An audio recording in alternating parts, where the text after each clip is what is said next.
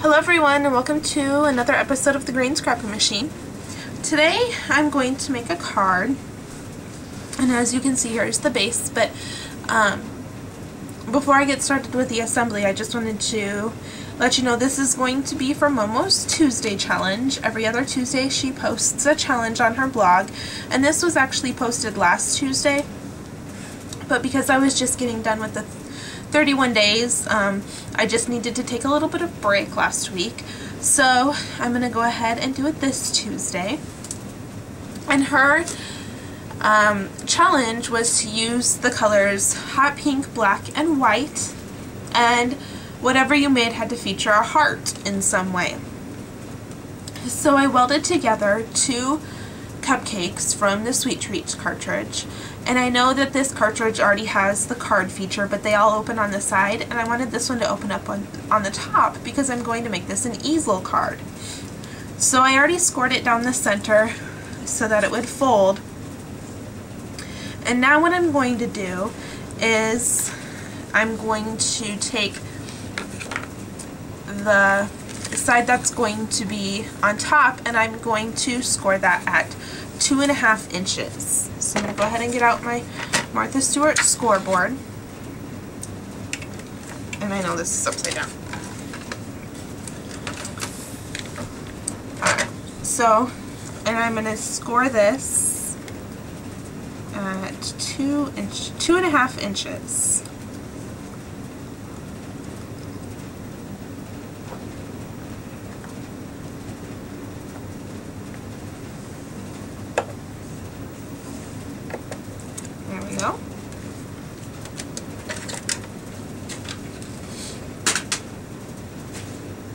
And I do have a video showing the basic easel card just with a typical A2 size card. Um, if you're interested in making one of those. Go ahead and crease that down. And then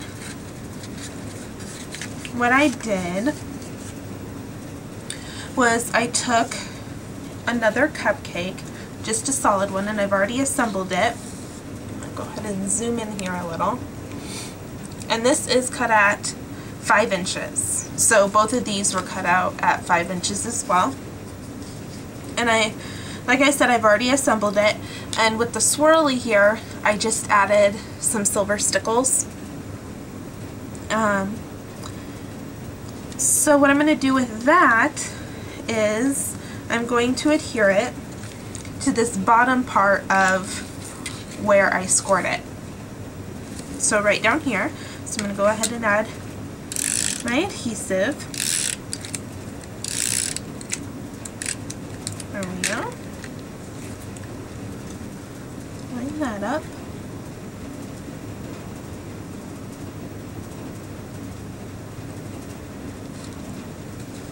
Perfect. Alright. And then what I did is I cut out another one of the black layered features and that's just the cupcake wrapper just in like um the blackout feature. And what I did with that and you'll have to excuse the little stickles starter strip there.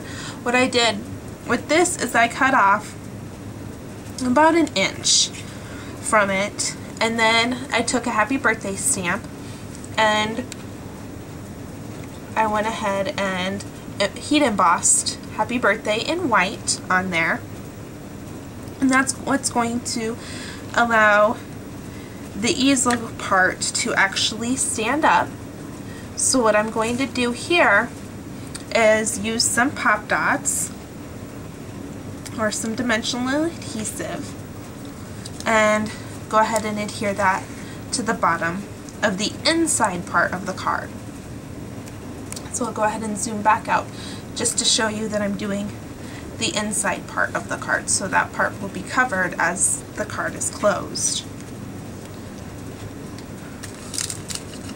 And you're going to want to use some type of dimensional adhesive for this part just so that it will hold the card up and it can be displayed. And this is just like the outside part of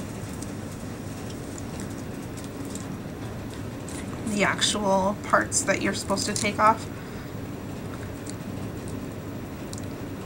Go ahead and remove the backing.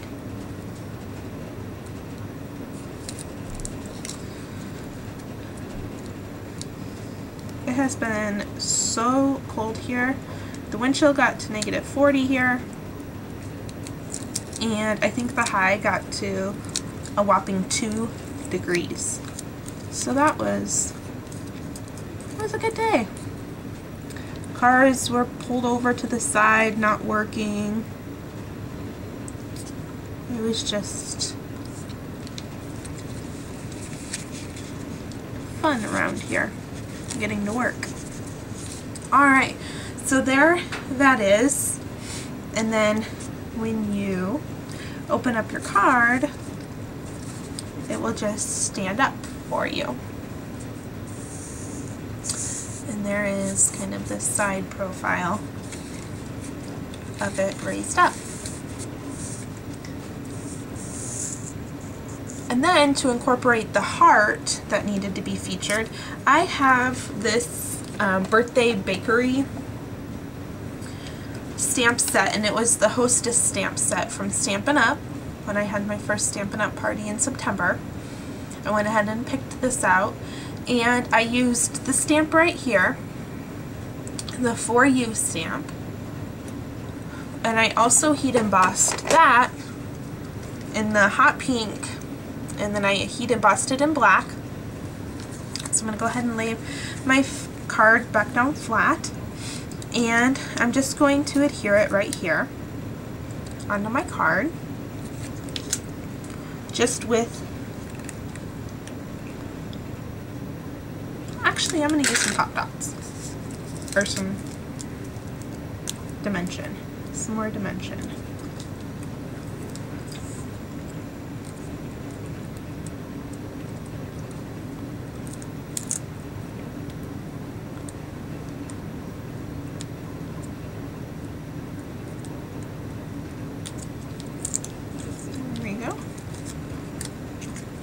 that right here.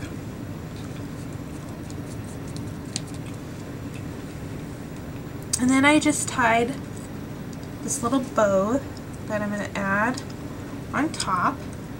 And I'm going to use a glue dot, a mini glue dot, to adhere that down to the tag.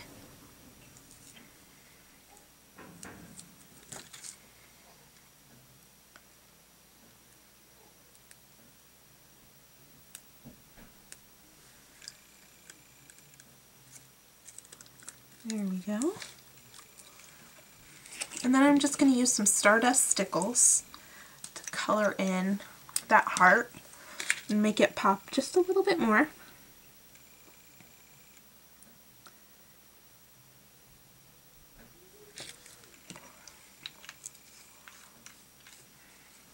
So there is my completed card from for Momo's challenge and it is just an easel card and it will stand nicely at the birthday girl's desk or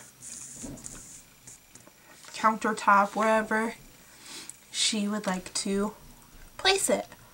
So I hope you enjoyed this episode of the Green Scrapping Machine and I'll see you Thursday. Have a great day. Bye!